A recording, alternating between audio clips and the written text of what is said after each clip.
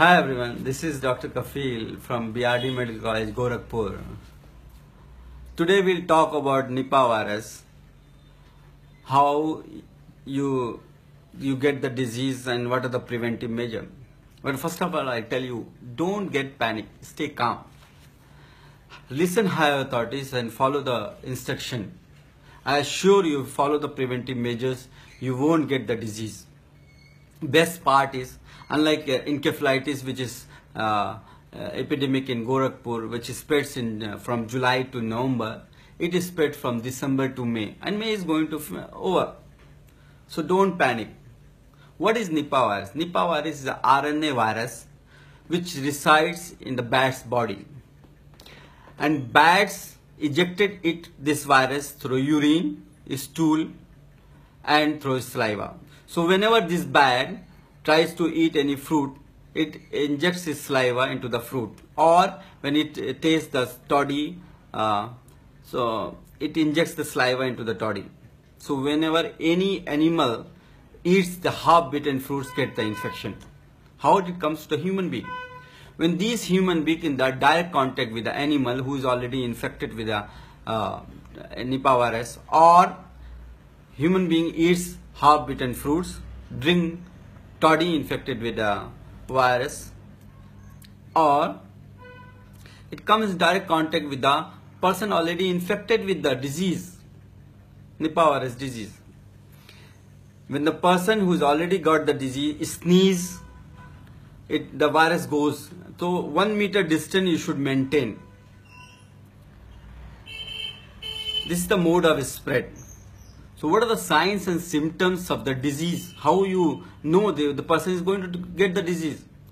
The disease started with the common flu-like symptoms like fever, headache, cough, cold, sneezing, nasal discharge. You will think that it's just a common cold. But no, it is progress very fast. Next day, the person will have disorientation, breathing difficulty, unconsciousness, and leads into death. So, what are the preventive measures and what are the treatment uh, mortality? I'll tell you about this virus. Very, very contagious. 90 percent. Very uh, progressive. Within for 24 to 48 hours, the person can go into coma, and very high mortality. That is some, more than 70 percent.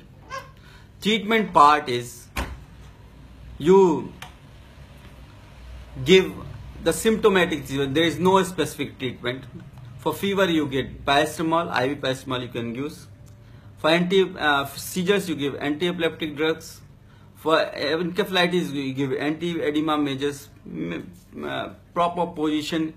And uh, for breathing difficulty you use ventilator. For uh, myocarditis use use lasix or anti failure measures. So these are the part. Uh, new drugs you, they're talking about ribavirin, chloroquine anti-malarial drug, and monoclonal antibodies are they all are in the initial state and they're going in the trial, but they're not very beneficial in the disease control itself. So we have to depend upon the symptomatic treatment itself. That's why I always say that prevention is the main best weapon. How to prevent this? Avoid contact with the bat, pigs, and any person who's already got the disease. Wash all the foods properly. Maintain personal hygiene and avoid eating half-bitten fruits. For the medical profession personals, those who are treating the patients, they should wear gloves, they should wear masks, they should wear goggles, they should wear cap, they should wear gown, they should use hand sanitizers. So washing hand again and again is the best prevention